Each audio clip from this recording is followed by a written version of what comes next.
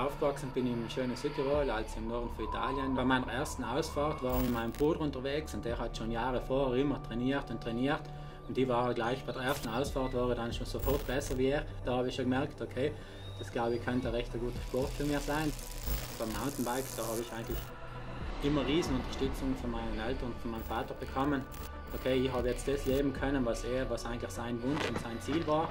Und dann kam eigentlich der Moment, wo ich gesagt habe, nein, ich habe jetzt keine Lust mehr zu beizen, ich will jetzt laufen.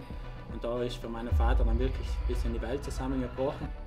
Aber jetzt zum Glück hat sich alles beruhigt und er ist da jetzt 120 Prozent wieder dabei. Vor eineinhalb Jahren habe ich den Laufen angefangen und bin jetzt auf Weltniveau. Es ist immer wichtig, sich weiterzuentwickeln. Nur dadurch kann man eigentlich stärker werden und konkurrenzfähig sein im Leben.